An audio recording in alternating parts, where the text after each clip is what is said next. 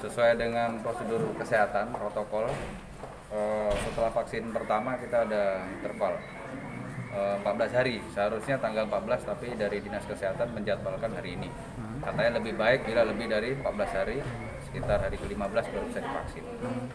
Selama vaksin pertama kedua saya tidak ada apa namanya eh, keluhan-keluhan.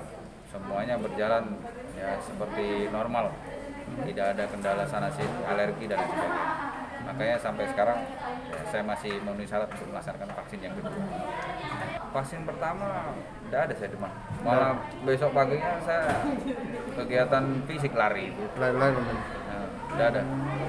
Siap. Jadi selama ini tidak ada gejala ya?